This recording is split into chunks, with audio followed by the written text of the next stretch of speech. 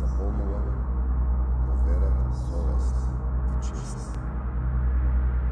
Дека ќе работам за ослободување на Македонија и Одринско со сите своји сили и средства и дека никогаш не ќе ги предадам тајната на револуцијата.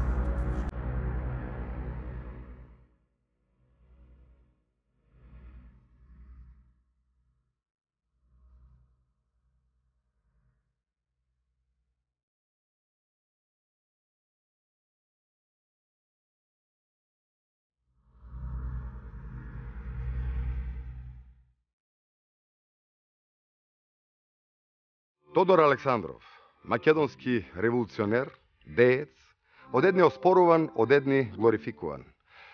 Личност во македонското револуционерно движење, која успеала да преживее неколку окупаторски режими во Македонија и да се задржи во самиот врв на раководството на ВМРО. Александров, за дел од македонското револуционерно движење, бил предавник, бил платен агент, македонски крволок, великобугарски националист. Но, за други пак бил македонски Робин Худ, последниот крал на планините, македонски комитаджија, легендарен македонски водач. Која е вистината за Тодор Александров?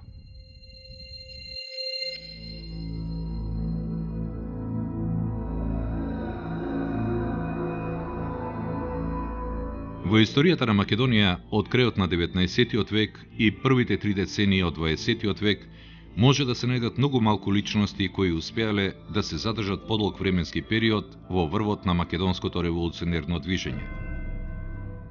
Во 13 годишното членување во ЦК на ВМРО, Тодор Александров ја водел организацијата низ војни, поделби, негирања, идејни несогласувања, внатрешни судири и без разлика на различните научни мислења околу неговиот начин на раководење, успеал да оствари една од нејзините задачи – да го задржи вниманието на меѓународната јавност на нерешеното македонско прашање. До 90-тите години на 20-тиот век, бугарската историографија го третирала Тодор Александров како негативна личност – По 1990 година, тоест по падот на комунизмот, и бугарската историографија го сменила односот кон ликот на Тодор Александров. Започнала еден процес на рехабилитација и сакала да го издигне до највисокиот пиедестал на борците за бугарската национална кауза, впрочем како и поголемиот дел на македонските револуционери. И македонската историографија од почетокот на 90-тите години се зафати со проучување на ликот на Тодор Александров врз основа на голем дел од пронајдената архивска документација во архивите во Бугарија, Србија, ликот на Тодор Александров сега беше можеше да биде подобро осветлен. Започнаа да се пишуваат голем број на монографии и зборници на трудови кои што се обидуваа да фрлат нова светлина врз Тодор Александров како дел од македонското револуционерно движење. Во споредба со бугарската историографија, македонската историографија се обидуваше да најде една пообјективна слика за тоа кој всушност беше Тодор Александров без да биде зафатена од нека, некоја еуфорија на предавници или на херои, на негативни или позитивни личности, обидувајќи се да го изфорли тој црно-бел приод на гледање на историските настани и личности. Од тогаш започна да се менува сликата за Тодор Александров и тој најде соодветно место и во македонската историја. Во тоа е значењето на тие почетни историски трудови кои што се однесуваа на објаснувањето на тоа кој беше на вистина Тодор Александров. Тодор Александров бил роден на 4 март 1881 година во Новосело Штипско. Своето образование го започнал во училиштата во Штип и Радовиш, а од 1895 година во Педагошкото училиште во Скопје. Во редовите на Македонската револуционерна организација бил вклучен од страна на Христо Матов. Младиот Александров, по завршувањето на Педагошкото училиште бил назначен за учител во градот Кочани. Овде го презел раководството на Кочанската револуционерна околија на организацијата. Во учебната 1899-1900 заминал како учител во Виница. Во следната учебна година бил назначен за учител во Кратово.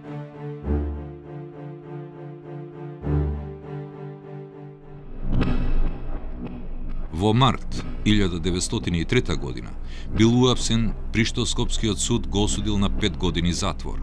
Затворската казна Тодор Александров требало да ја одлежи во Куршумлијан во Скопје.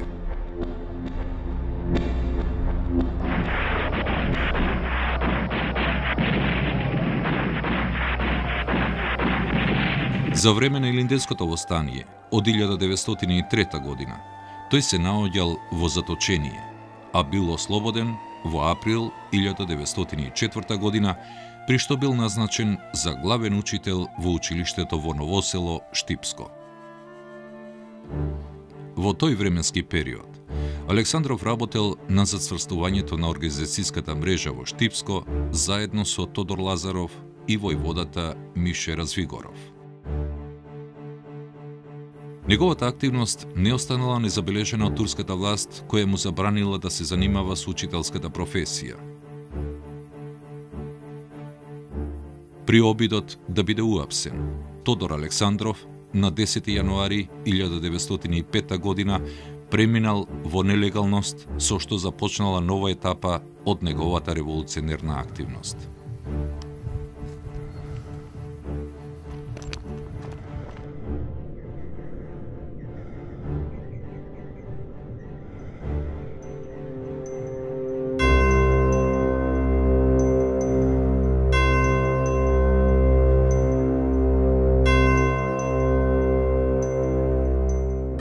По неуспешниот крај на Илинденското востание, во редовите на организацијата започнале да се водат дискусии за причините за таквиот исход.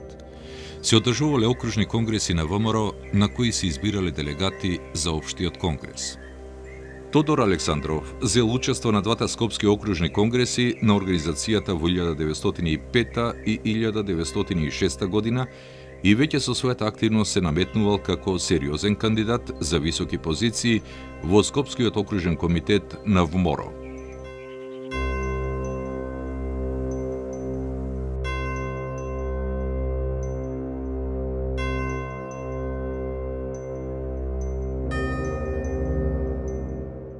По третиот конгрес, Александров бил избран за окружен војвода на Скопскиот револуционерен округ а во учебната 1906-1907 година заминал на работа како учител во градот Бургас, Бугарија.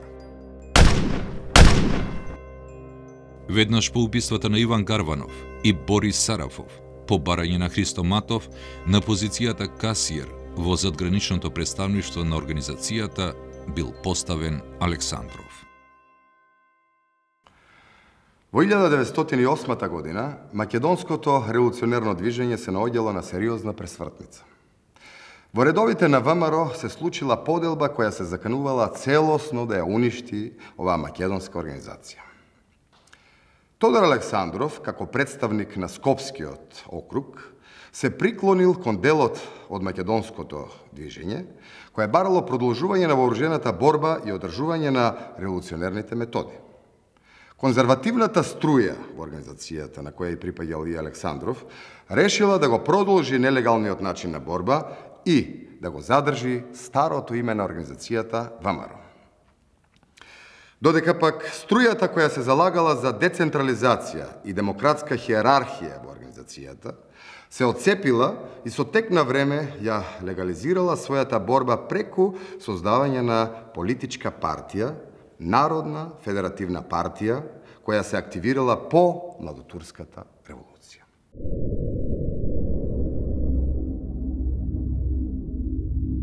Во едни такви сложени услови на поделби и расеп, во март 1908 година се одржал Тюстендилскиот конгрес на ВМОРО, на кој консервативната струја декларирала дека го продолжува своето екзистирање и се повикала на континуитетот на организацијата од 1893 година. На конгресот, како делегат на Скопскиот револуционерен округ, учествувал и Тодор Александров. Во своите дискусии на конгресот, Александров се залагал за поенергична вооружена акција и позачестена употреба на терористичкиот метод на борба.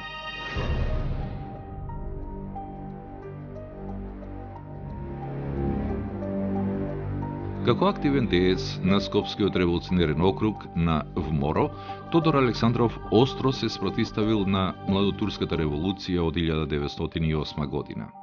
Под влијание на Александров, најголемиот дел од оружјето на четите во Скопскиот револуционерен округ било скриено и не било предадено на младотурската власт.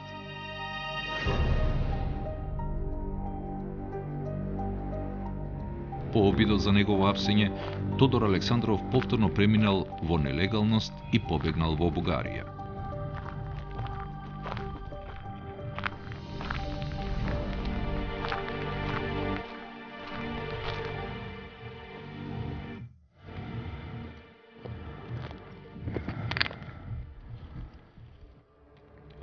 1910 година Александров повторно со чета се вратил во Македонија и започнал со организациони подготовки за засилување и зацврстување на сите револуционерни окрузи.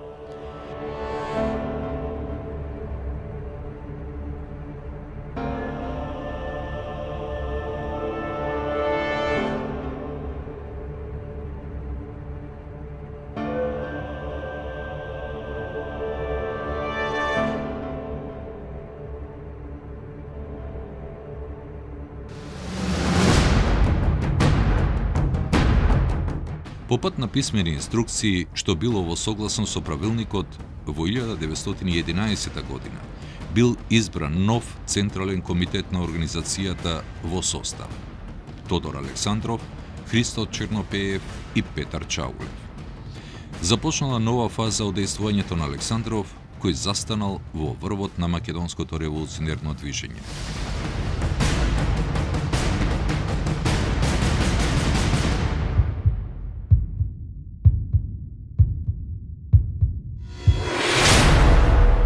Со влегувањето на Тодор Александров во Централниот комитет, организацијата покрај четничките методи на борба започнала со практикување и на терористички акции.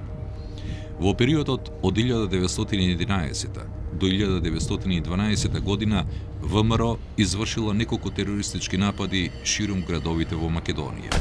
Штип, Кочани, Дојра.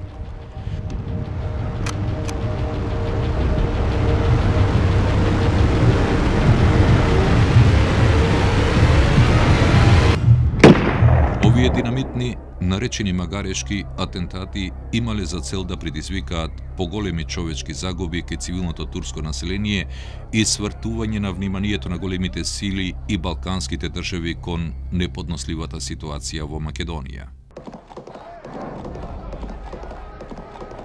Во предвоените години кои биле вовет во Балканските војни, Организацијата ја отфрлила соработката со припадниците на поранешните врховистички чети кои поставувале услови за соработка што биле неприфатливи.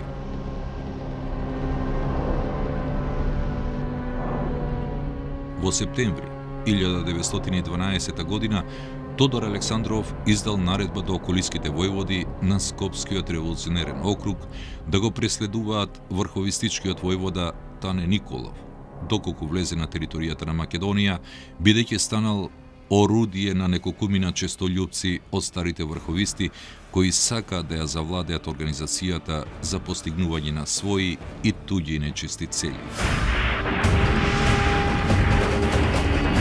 Во Првата Балканска војна 1912 година Александров начело на четите на ВМОРО и селската милиција учествувал во завземањето на градот Куклуш, неколку дена пред пристигнувањето на бугарската војска, каде во ноември 1912 година бил назначен за окружен управител. Кон крајот на 1912 и почетокот на 1913 година, кога се поизвестна била новата меѓусојзничка Балканска војна, ЦК на Моро и Тодор Александров, како негов највлијателен член преку два мемуара побарале од владата на Бугарија и бугарскиот цар, етногеографската територија на Македонија да влезе во рамките на Бугарија, но ако тоа не е можно, во никој случај да не дозволи поделба на територијата на Македонија. Во Балканските војни 1912-1913 година ВМРО како организација зела активно учество. Четите на организацијата самостојно или во содејство со другите сојузнички војски ги ослободувале сите населени места во Македонија. И Тодор Александров како личност во македонското револуционерно движење се вклучил и во првата и во втората Балканска војна и зел активно учество. Интересен е фактот што не само Тодор Александров, туку и другите македонски револуционери и од левицата и од десницата зеле учество во бугарската администрација во Македонија. Сигурно сите ќе се прашат зошто. Дали имало некој друг начин да се биде поблиску до македонскиот народ и до широките народни маси? Може би дел од тој револуционерен кадар на вистина верувал дека со влегувањето во таа бугарска администрација ќе придонесе да се приближи до македонскиот народ. Дел од македонскиот револуционерен кадар верувал дека во наводници се случило некакво ослободување на Македонија. А еден дел од тој револуционерен кадар секако се оддал и на, оддали на градење на кариери и трупање на материјални богатства. Вистината за Тодор Александров во врска со ова е некаде помеѓу. Тој и во тој временски период останал доследен на својата максима дека етногеографската територија на Македонија не треба да биде поделена. Македонија треба да биде една единствена етногеографска и економска целина. Затоа и тој како и другите македонски револуционери влегол во таа бугарска администрација во периодот околу Балканските војни.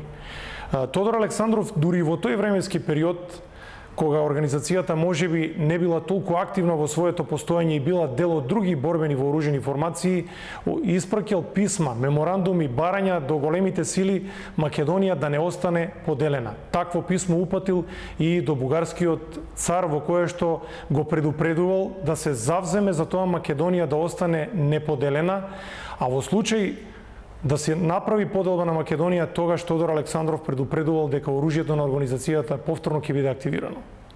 Во предвечерието на Втората Балканска војна, Тодор Александров преку декларација на Централниот комитет на ВМРО од 16 мај 1913 година повторно се заканил дека ако македонското прашање не се реши така како што сака таа организацијата, нема да престане со своето револуционерно действување и дека во виорот на борбите нема да се двоуми да се послужи со сите возможни средства со кои би можела да располага. Ниту пак ќе води грижа за Женевската или за било кој други меѓународни конвенции.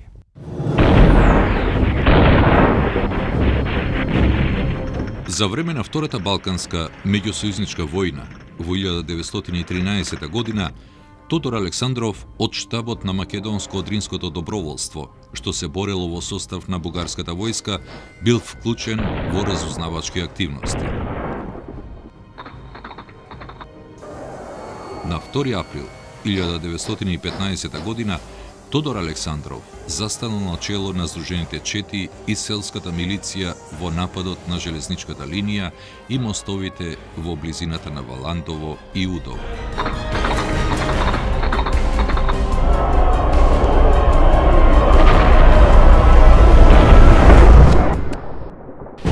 Вооружените чети под водство на Александров успеале да го завземат и Валантово и по одржаниот митинг да се повлечат преку тогашната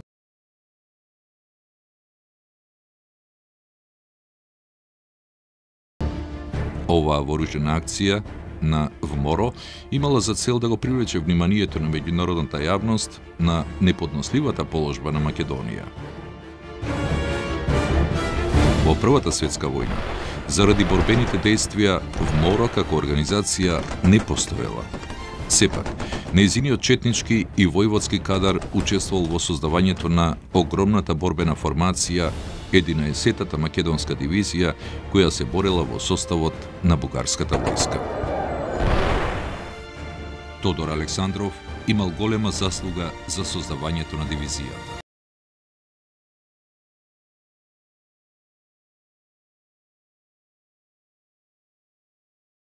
Крајот на Првата светска војна имал разочарувачки последици за Македонија и македонскиот народ. На Версајската мировна конференција се создавале новите европски граници според услови кои ги диктирале земите победнички од војниот сојуз на Антантата. во едни такви услови на неизвестност и исчекување. На 1 март 1919 година Тодор Александров од позиција на член на ЦК на ВМРО заедно со генерал Александар Протогеров упатиле мемуар до председателот на Версајската мировна конференција Жорж Клемансо во кој побарале да дозволи учество на македонски представници на конференцијата. По завршувањето на Првата светска војна, голем дел од македонскиот револуционерен кадар емигрирал во Бугарија. Софија и другите поголеми бугарски градови станале средиште на обштествено-политичкиот живот на македонските емигранти и револуционери од сите идејни теченија и струи започнале да се водат жестоки дискусии и дебати помеѓу македонските револуционери и дејци за иднината на македонското револуционерно движење. По завршувањето на Првата светска војна се воделе жестоки дебати и дискусии за тоа во кој правец ќе оди македонското револуционерно движење. ВМРО, а и Тодор Александров се обидувале да бидат доста прагматични во поглед на решувањето на македонското прашање. Затоа организацијата под влијание на Тодор Александров имала различни ставови и различни решенија, односно минимална и максимална програма во поглед на решавањето на македонското прашање.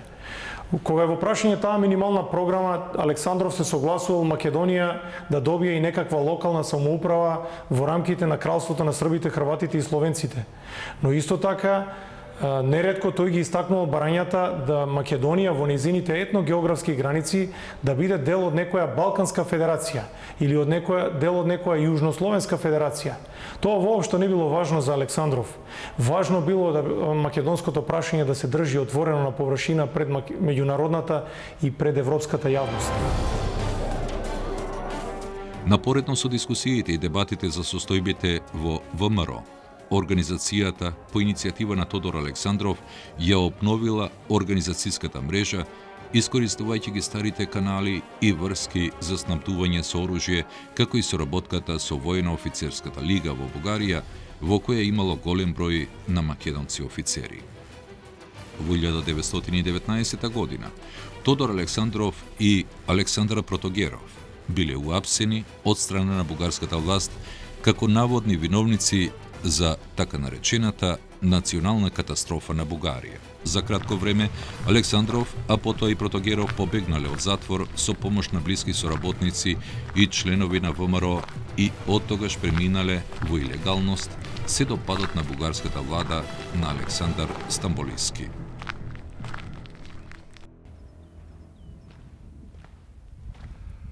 Набргу ВМРО започнала со својата четничка активност особено во Вардарска Македонија под српска власт и Егејска Македонија под грчка власт.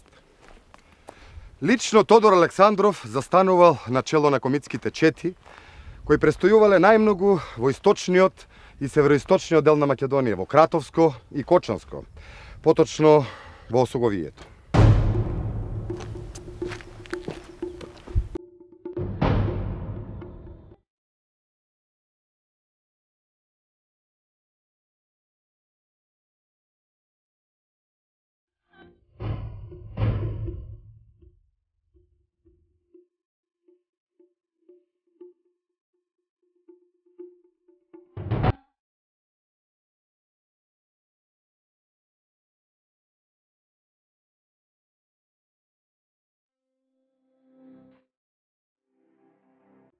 На 24 јуни 1920 година Тодор Александров во придружба на своји најблиски другари Слави Иванов и Симеон Кочански навлегува на територијата на Македонија под српска власт. На 13 јули истата година 1920 Тодор Александров му испратил писмо на Александар Протогеров во кое го известува дека состојбите на теренот во Македонија под српска власт се одвиваат добро.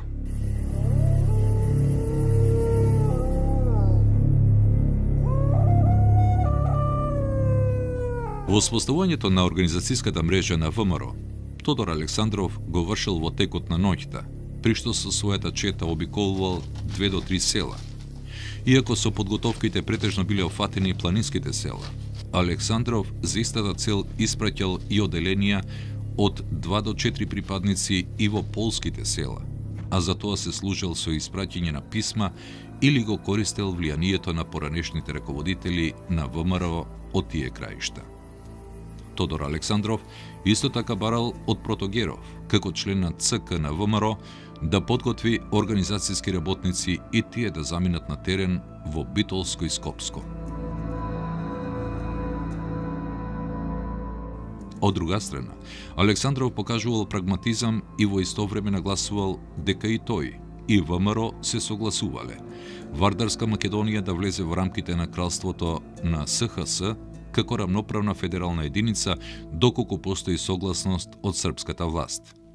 Покажувајќи можност за компромис и ВМРО да го положи оружјето во случај на разбирање од српска страна, Александров од име на организацијата ги повикал македонците на општинските и парламентарните избори во кралството на СХС во 1920 година да гласаат за кандидатите на Комунистичката партија на Југославија.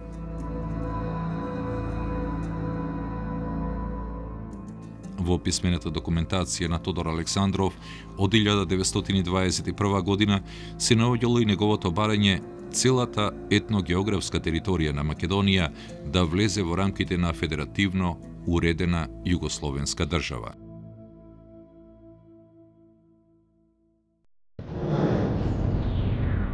ВМРО како една од највлијателните македонски организации во периодот од 1920 до 1923 година, територијата на Пиринска Македонија под бугарска власт ја претворила во добро организирана база од каде низините чети навлегувале во другите делови на Македонија. Во овој период, поради политиката на сближување со кралството на СХС, ЦК на ВМРО ја прогласила за непријателска земјоделската влада на Александар Стамболиски. Зачестиле дипломатските средби помеѓу владите на кралството на СХС и Бугарија, кои имале за цел, меѓу другото, и да ја уништат организацијата ВМРО. Поради ова, од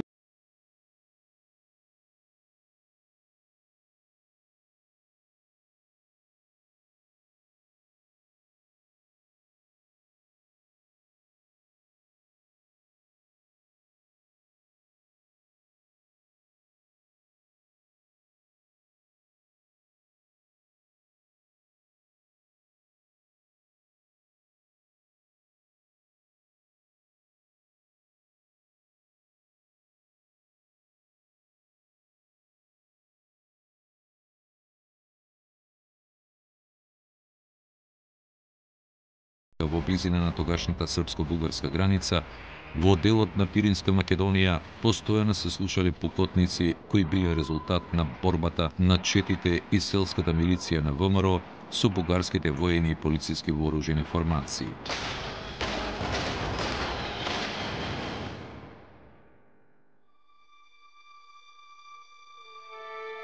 Во таа отворена војна страдале и двете страни, при што конечната цел на бугарската земјоделска власт била уништување на ВМРО и ликвидација и на самиот Тодор Александров, додека пак организацијата изрекла смртни пресуди на сите повисоки функционери во владата, заклучно и на премиерот Александар Стамболиски. Наеклатантен пример на демонстрација на сила на ВМРО било завземањето од страна на низините чети на градовите Чустендил и Неврокоп во 1922 година, при што било упатено остро предупредување власта да престане со прогоните на организацијата. Ваквиот чин на завземање на населени места на бугарска територија, Александров во програмските документи го објаснувал како одговор на отворените посегања по независноста и постоењето на ВМРО, а не како мешање во внатрешните работи на Бугарија.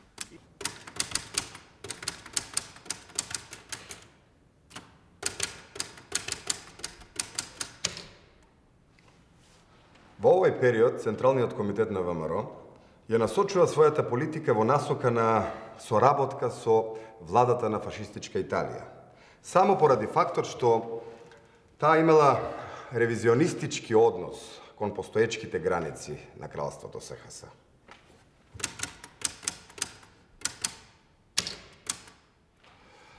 Тодор Александров од позиција на член на Централниот комитет на ВМРО, барал сојузништво и соработка и со ослободителните движења на кралството на СХС.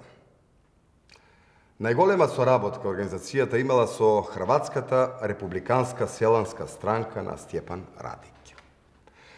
И покрај антирежимското расположение и ориентација на Радик, тој се разликувал од ВМРО и се залагал за пацифистички и легални форми на борба за преуредување на внатрешното устројство на кралството на СХС.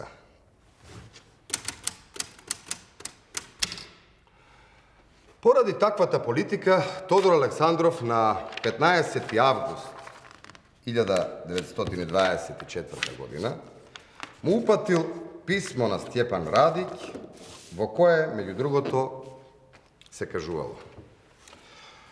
Јас не сум криел и не крием дека ние сме се разликувале со вас во методите на борба со нашиот заеднички непријател. Но исто така тврдам дека и хрватите на чело со Радик ќе се уверат дека со српските властодржци не може поинаку да се разговара освен со пушка, нож и бомба. Напоредно со обидите за заедничко действување со сепаратистичките движења во кралството на СХС, ВМРО ги продолжила вооружените напади со комитски чети во Македонија под српска власт и во Егејска Македонија под грчка власт.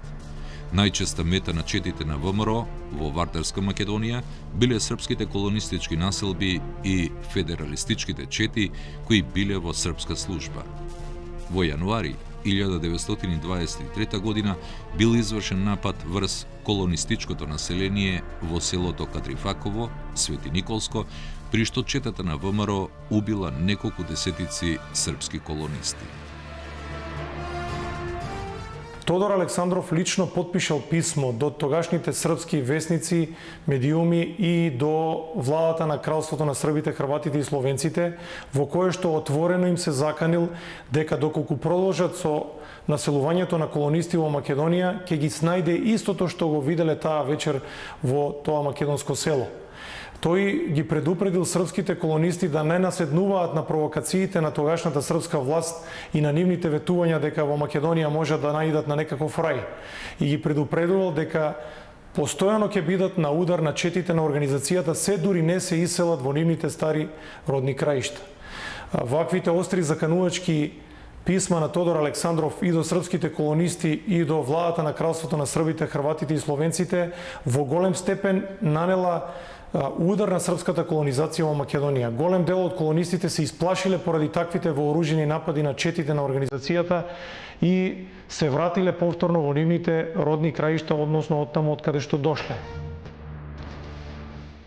После овој настан, безбедносните служби на кралството на СХС уште повеќе зголемиле наградата за евентуална информација или убиство на Тодор Александров. Дипломатските средби помеѓу премиерите на двете држави, Никола Пашич и Александар Стамбулиски, како и министрите за надворешни работи, го иницирале подпишувањето на Нишката спогодба во март 1923 година. Со овој договор и двете држави се обврзале дека ќе работат на поголема безбедност на границите особено во делот кон Македонија, и дека Бугарија ќе расформира македонската организација ВМРО, која била главната пречка за подобрувањето на односите помеѓу официјален Белград и Софија.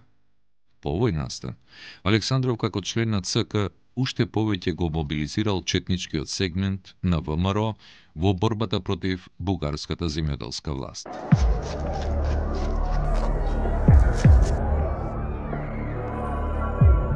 Во таква сложена обштествено-политичка ситуација, Бугарија го дочекала државниот пресврт од 9 јуни 1923 година.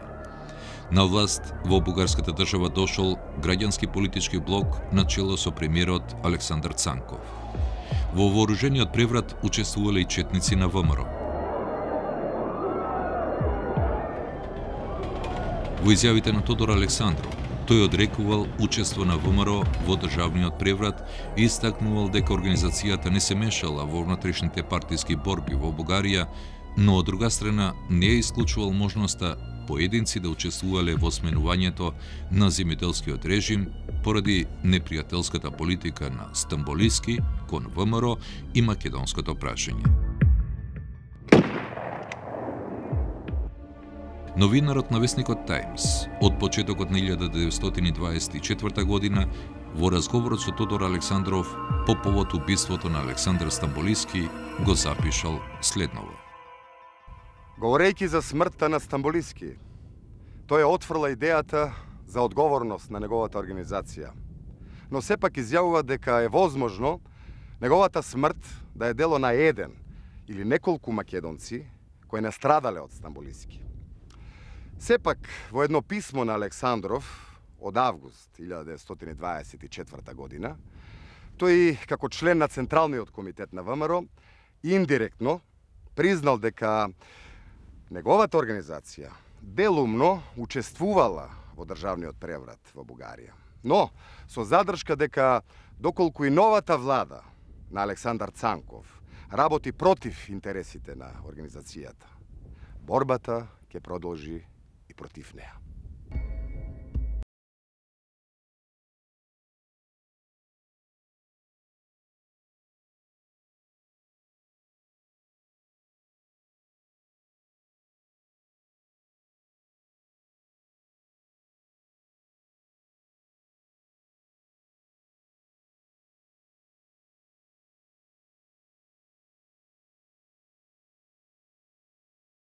Прво си ги натопи рацете со крвта на македонските револуционери за да го подготви предавањето на нашата родина на Белград. Верна на себе си, да не дозволи никому да тргува со Македонија, ВМРО објави војна на Стамболиски, која што во голем степен ја олесни задачата на творците на 9 јуни, без да се интересира кои лица ќе го заменат тиранскиот режим.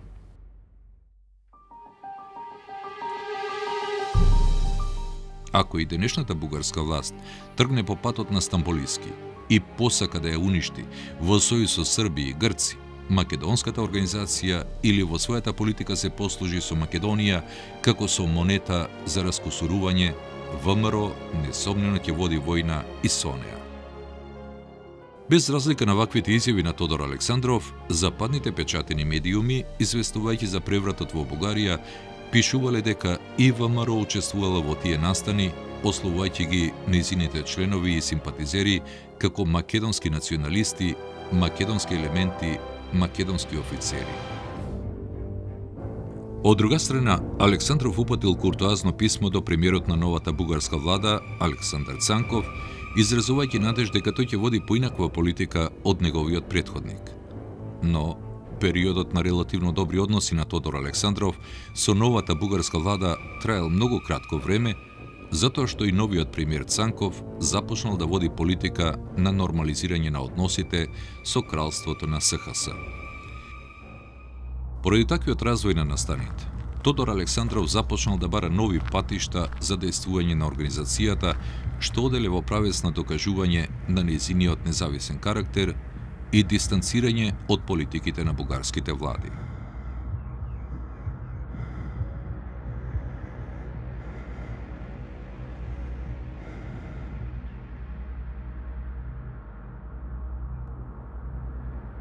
Во текот на 1923 и 1924 година зачестиле интервјуата што Тодор Александров ги давал за новинари од повеќе западноевропски држави со цел да придобие сојузник во некоја од нив. Специјалниот известувач за вестникот Таймс напишал Тој има само една идеја, и таа е конечно прогласување автономија на Македонија со престолни на Солун. Тој изјавува дека населението нема да трпи да биде управувано од Срби, Грци или Бугари, и бидејќи првите две страни му ја ускратуваат на народот секоја слобода на словото и религијата, само вооружената борба може да му го донесе она кое што тој го сака.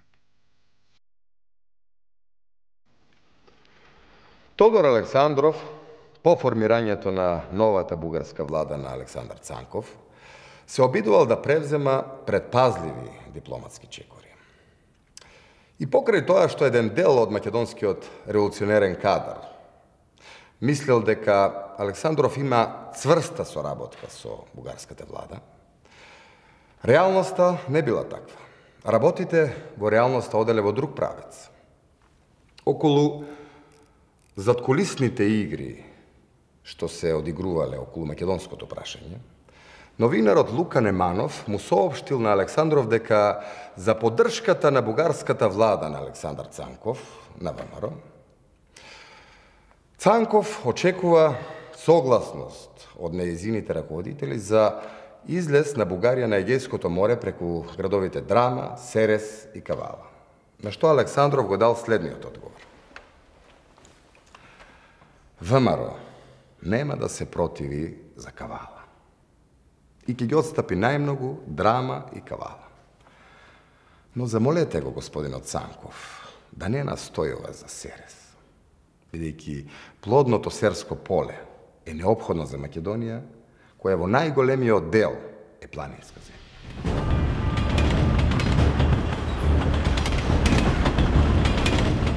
Летото 1923 година, како овластени представници на ВМРО во Советскиот сојуз заминале Димитар Влахов и Михаил Монев. Услови за помош од советската влада било обединувањето на сите сили во македонското револуционерно движење во единствен фронт и независниот карактер на ВМРО. Во меѓувреме, во интерес на соработката со Советскиот сојуз и комунистичките партии и движења, Во време на септемвриското комунистичко востание во Бугарија, ЦК на ВМРО прогласила неутралност, но под еден единствен услов – комунистичките востанички одреди да не ги прошират борбените действија во Пиринска Македонија, што ВМРО ја сметала за своја организациона територија. Откако Бугарската комунистичка партија го прекршила договорот и испратила еден одред во Пиринска Македонија, раководството на ВМРО и пред се Александров издале наредба за прогонување и уништување на комунистичките востаници. При тоа голем број од востаниците биле ликвидирани од четите на организацијата, а еден дел се спасиле и биле ослободени благодарение на застапувањето на војводата Алеко Василев Пашата под услов веќе никогаш да не се вратат во Македонија под бугарска власт. Во почетокот на 1924 година Тодор Александров како раководител на ВМРО веќе имал нарушени односи и со владата на Александар Цанков.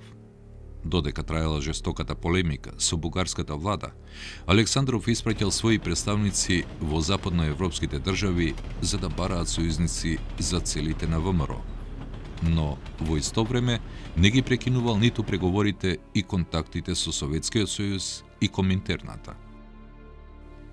Во март 1924 година Тодор Александров, заедно со Александар Протогеров, заминале во Рим за да се сретнат и разговараат со третиот член на ЦК Петар Чаулев.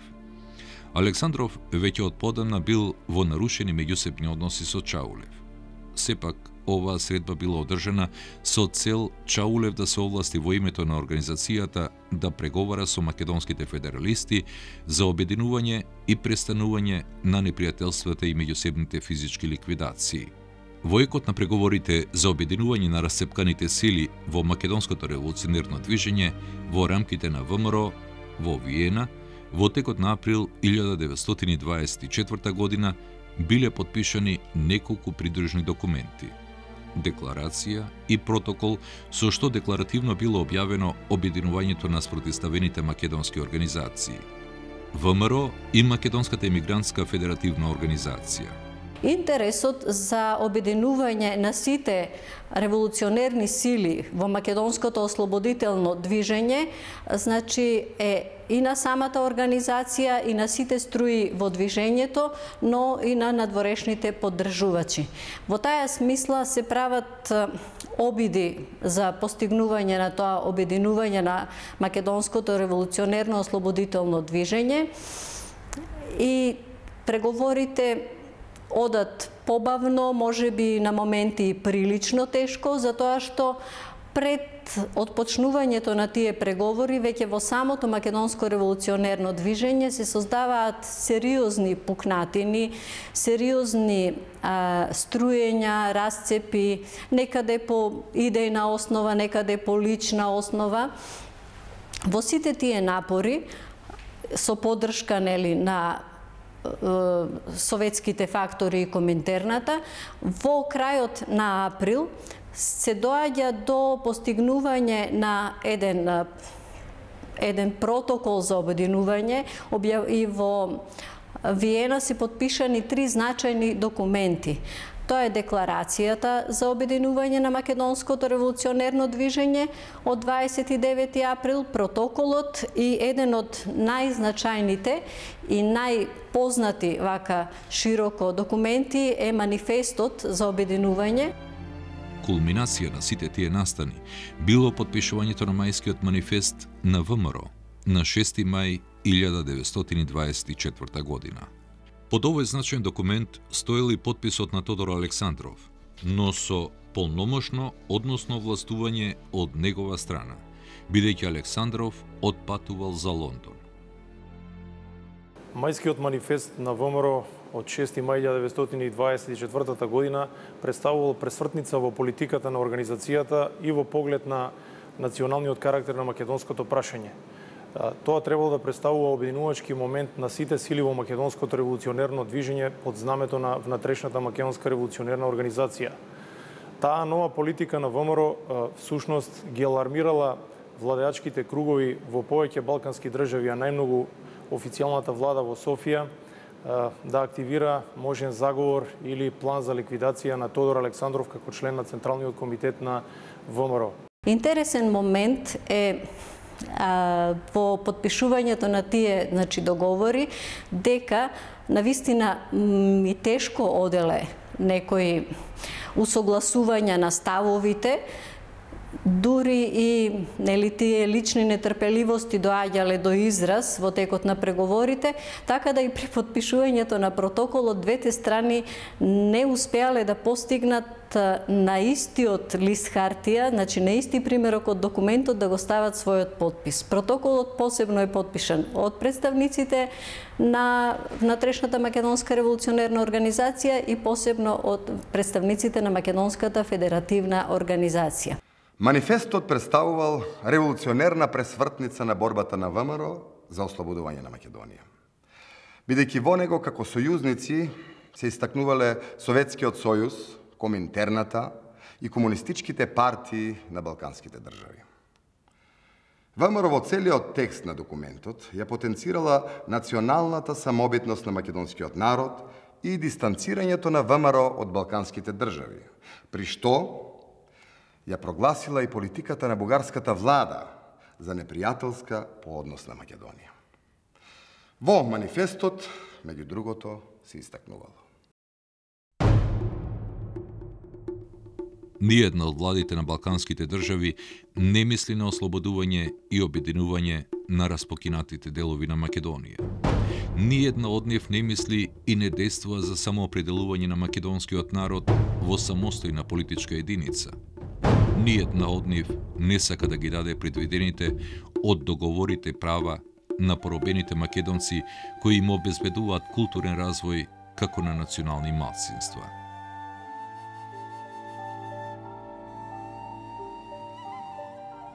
Содржината на мајскиот манифест внела голем страв во редовите на бугарската влада, која веќе била во непријателски односи со ВМРО. Од друга страна, кога дознал за содржината на текстот на манифестот, Тодор Александров побарал да не се брза со неговото публикување. Но не било послушано предупредувањето на Александров и од страна на Димитар Влахов, кој бил еден од составувачите на манифестот, овој документ бил објавен во јуни 1924 година во вестникот Балканска федерација. По објавувањето на мајскиот манифест, Тодор Александров се нашол во незавидна позиција – поради притисоците од дел од членството на ВМРО и бугарската влада кои барале одговор од него за новата ориентација на организацијата. Во една таква ситуација, на 1 август 1924 година преку декларација Тотор Александров се откажал од неговиот подпис под манифестот со образложение дека тој бил мистификација на екзалтирани комунисти и дека имал за намера ВМРО од национална да ја претвори во класна организација која се бори за интересите на Советскиот сојуз. Но оваа изјава на Александров не ја уверила бугарската влада во тоа дека водачот на ВМРО искрено се одрекол од новата револуционерна ориентација на организацијата. Тодор Александров станал непожелен и опасен по интересите на бугарската влада околу прашањето за Македонија. Различни војно-политички фактори, државни субјекти и влијателни европски организации се заинтересирале за неговото отстранување од раководството на ВМРО. Патот кон ликвидацијата на Александров бил трасиран. Се барал погоден момент за тоа. На 31 август 1924 година во близина на селото Лопово на Пирин планина бил убиен Тодор Александров. Ликвидацијата била извршена од страна на војводите Штерио Влахов и Динчо Вретенеров, кои убиството го извршиле во присуство на вториот член на ЦК Александар Протогеров. Покрај Александров бил убиен и неговиот телохранител Панзо Зафиров.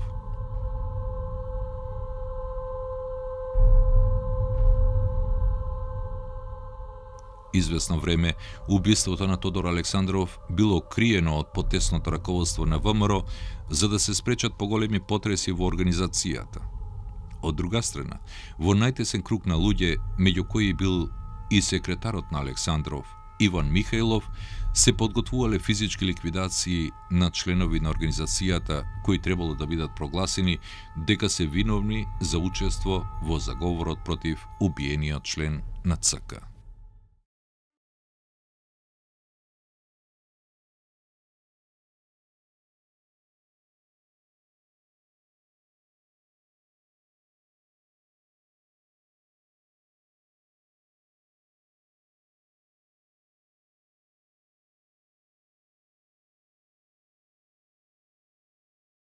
Тодор Александров во негово време не можел поинаку да действува. Морал да ја прилагодува својата политика и водството на организацијата спрема обштествено-политичките настани на Балканот.